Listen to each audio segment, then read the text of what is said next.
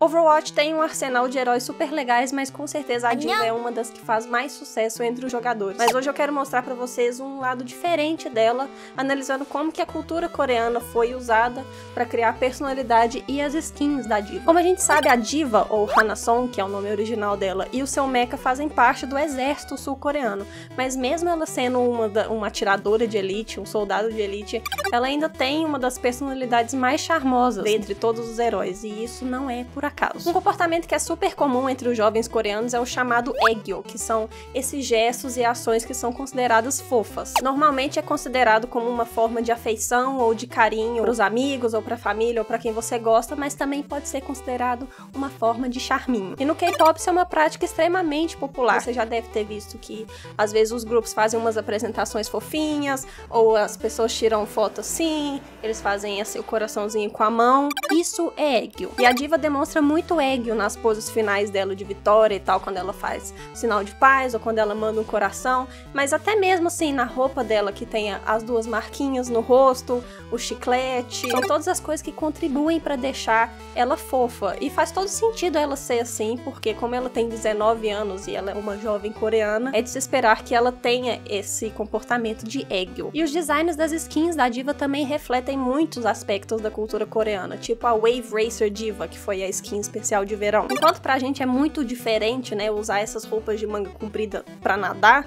na Coreia, na verdade, é muito comum. Tanto os homens quanto as mulheres frequentemente usam essas roupas que são mais cobertas quando eles vão pra praia ou pra um parque aquático, seja tanto para se proteger do sol, mas também por modéstia, para não mostrar tanto o corpo. E se você por acaso assistir um dos vários programas de variedades coreanos em que algum episódio eles vão pra praia ou eles vão fazer alguma atividade na água, você vai ver que os participantes do programa sempre vão usar short ou uma blusa de manga comprida, ou uma camiseta ou uma bermuda. Mas na verdade, uma das coisas mais legais dessa skin tá num detalhe, que é nesse padrão de flores que você vê na blusa da diva e também no mecha dela. Muita gente deve ter achado que era flor havaiana, porque tem a ver com verão, tem a ver com praia, mas na verdade é uma flor que chama Mugunhwa, que é a flor nacional da Coreia. E lá essa flor é tipo um símbolo histórico de perseverança e resistência do povo coreano contra as guerras e invasões que eles sofreram. Então faz sentido a diva usar isso, como ela tá no exército, então ela protege o povo. E essa flor é super querida na Coreia. Ela tá no hino, a imagem dela é usada em muitas é, atividades oficiais do governo, tem parques é, que preservam essa flor. No final das contas, os coreanos percebem essa flor como um símbolo de união, paz e felicidade legal, né? E também a skin policial da Diva é uma outra que é legal de analisar, apesar dela não ter tanta história assim, ela é mais uma curiosidade. Como a Diva trabalha no ramo militar, faz todo sentido que ela tenha uma versão alternativa com uma roupa de policial.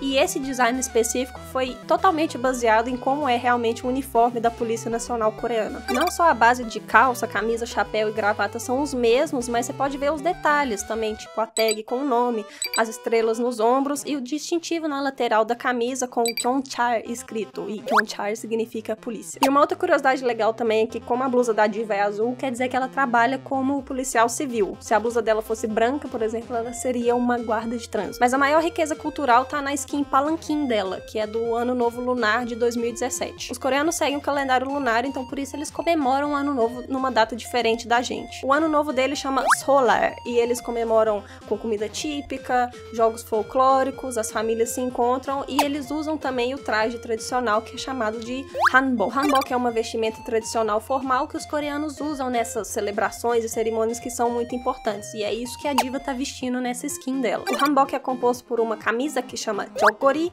e uma saia, no caso das mulheres, que chama chima. E ele tem uma silhueta que é super característica que foi feito desse jeito para transmitir elegância e suavidade. O hanbok da diva é obviamente uma versão bem estilizada, porque ele tem a saia mais curta, mas estão todos os elementos lá, incluindo um adorno de cabelo cabeça e também esse acessório que eles penduram no cinto, que eles chamam de norige, que é uma, tipo, um amuleto da sorte para desejar coisas boas, trazer coisas boas. Na maioria das skins, o mecha da diva não muda tanto, ele só é um pouco estilizado, mas nesse ele se transformou completamente no palanquim, que eles chamam lá de kama. Assim como o kama tradicional, o mecha dela possui uma textura de madeira com adornos naturais e a janela tem esses recortes geométricos e essas decoraçõezinhas penduradas na borda. Historicamente, o kama era mais utilizado utilizado para levar pessoas da realeza, mas hoje em dia usa no casamento. E o modelo do casamento parece muito com o mecha da diva. Agora, com quem a diva vai casar, eu não sei, mas podia ser comigo. A diversidade cultural dos personagens do Overwatch foi uma das coisas que fez ele ser tão popular, porque os heróis